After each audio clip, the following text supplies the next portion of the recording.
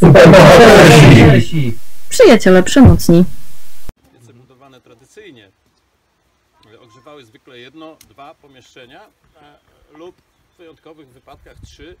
Musiał to być duży piec e, i w tych trzech pomieszczeniach część tego pieca musiała tam sobie stać, funkcjonować i wtedy poprzez promieniowanie podczerwone taki piec mm, ogrzewał mm, te trzy pomieszczenia. Natomiast e, e, piec e, w technologii zduństwa nowoczesnego jest piecem dwuwarstwowym. Jest piecem dwuwarstwowym i taki dwuwarstwowy piec można przewietrzać jak kominek zwykły z wkładu. Czyli część akumulacyjna nie jest częścią zewnętrzną pieca, tak jak w piecu tradycyjnym.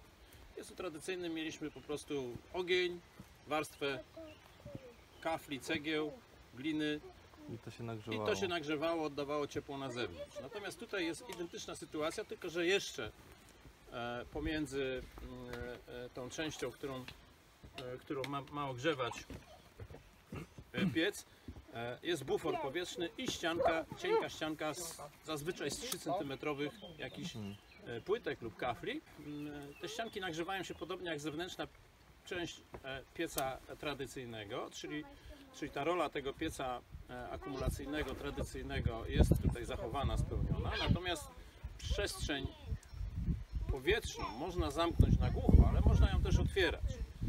Można ją przewietrzać, powodując przesył- powietrza jak... przesył, przesył powietrza do odległych pomieszczeń. To- Będzie na razie ogrzewał tą dolną część, bo nie sądzę, żebyście się na tą zimę przenosili na strych. Tą zimę będziecie musieli spędzić w tej części, ogacić wszystkie, wszystkie dziury, wszystkie, wszystkie stropy yy, i, i, i spróbować jakoś przetrwać tą zimę e, na dole. Nie budujemy już palenisk yy, ceramicznych metodami dziadkowymi, tylko tak jak widzieliście, przywieźliśmy taką skrzynkę metalową, No. do której wkładamy tą samą ilość cegieł szamotowych i szamotów, którą byśmy e, e, by użyli murując takie palenisko. Natomiast ta skrzynka pozwala nam e, szybciej zrealizować cel.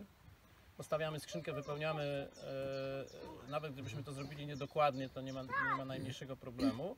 Natomiast wszelkie niedokładności przy paleniskach murowanych no, odbijają się potem czkawką podczas eksploatacji. Ona pozwala też e, spalać bardzo czysto em, już w połączeniu z, tą, z, tą, z tym wnętrzem szamotowym pozwala spalać bardzo czysto drewno przy jednoczesnym zachowaniu jej klarowności, czystości, czyli ten ogień będzie widoczny. Szybę można czyścić naturalnymi środkami takimi jak popiół z tegoż drzewa. Babcie czyściły srebra e, popiołem, e, tym samym popiołem można, można czyścić szybę. Mm, Tyle, że trzeba uważać, żeby ten popiół był bez piachu. Nie, nie, nie, sięgać gdzieś tam głęboko, tylko z z wierzchu brać jakiś ręcznik papierowy czy szmatkę wilgotną, e, zrobić taką maść na szybie. No i ta maść e, skład, sam skład chemiczny, co to środki toksyczne e, w supermarketach czy w sklepach kominkowych. Wow. A ja mam pytanie dotyczące tej rury kwasowej.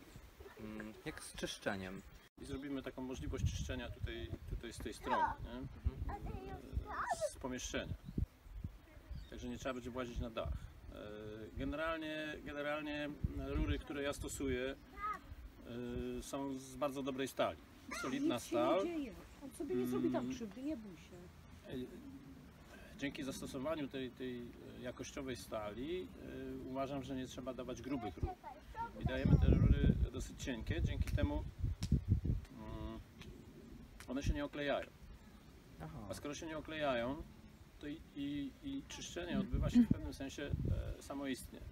Czyli ta sadza spada, będzie spadać do tego trójnika, który, który trzeba wyczyścić. To trzeba, to trzeba kontrolować, na to trzeba uważać, dlatego że e, w tym kominie mieliśmy, mieliśmy już sporą warstwę gdzieś od, od, pozo- od poziomu ziemi, tam prawie metr było za, zanieczyszczeń e, niewybieranej sadzy.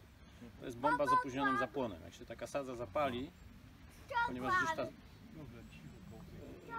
ta wyczystka stała się magazynem tej sadzy i, i, i te, tej sadzy przybywa, przybywa i dochodzi do momentu przyłącza, załóżmy jakiegoś urządzenia grzewczego, tam potrafi się pojawić ogień, iskra i zapali tą sadzę. I wtedy ta sadza się pali, rozsadza komin, e, pali dom.